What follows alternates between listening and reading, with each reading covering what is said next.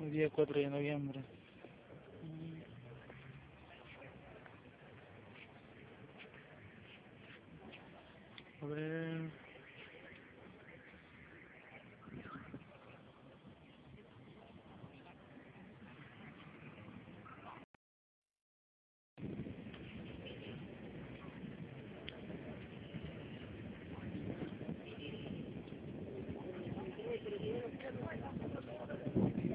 जिसका छः बजे।